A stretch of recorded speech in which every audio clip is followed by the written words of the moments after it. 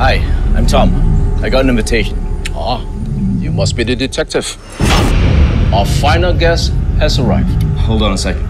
Nobody told me anything about a dinner party. I'm here to investigate a case.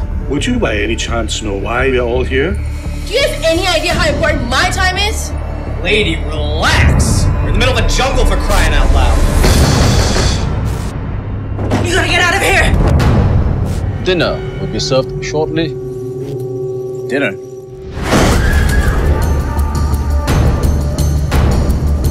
Trust any of you. Wait!